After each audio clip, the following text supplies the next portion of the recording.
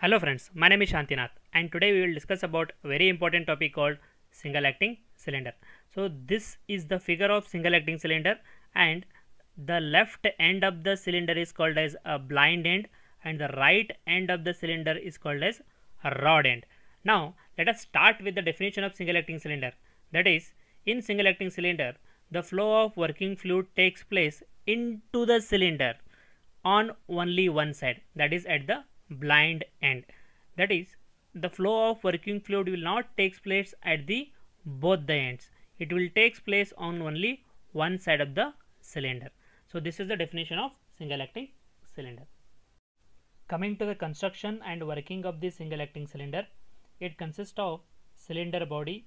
This outer portion is called as cylinder body and this is called as a piston and this is called as piston rod or simply rod.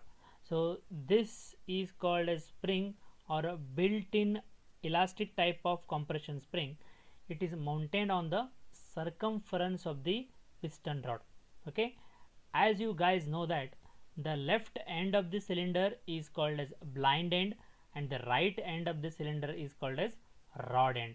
Okay the fluid is supplied into the system or the fluid is supplied into the cylinder at blind end.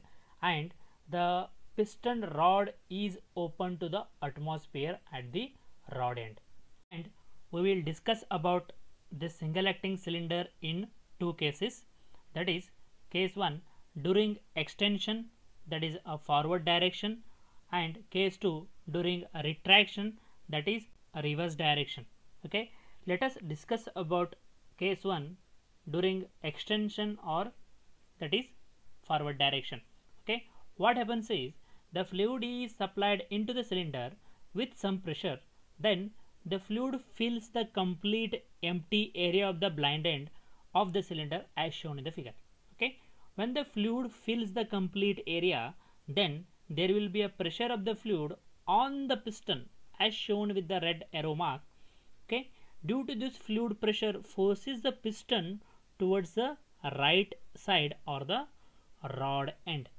Now let us discuss about case 2 that is during retraction or return movement or reverse direction. Okay.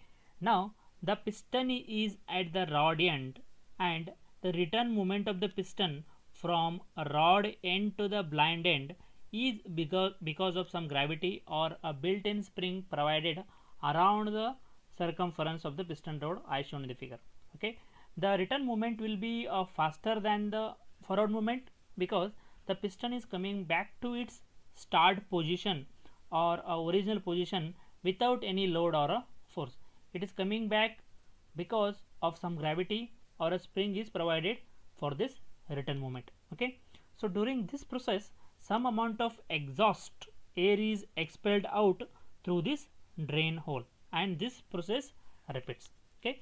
This type of single acting cylinders are used for cutting lifting clamping and pressing operations.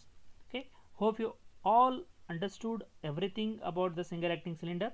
Thank you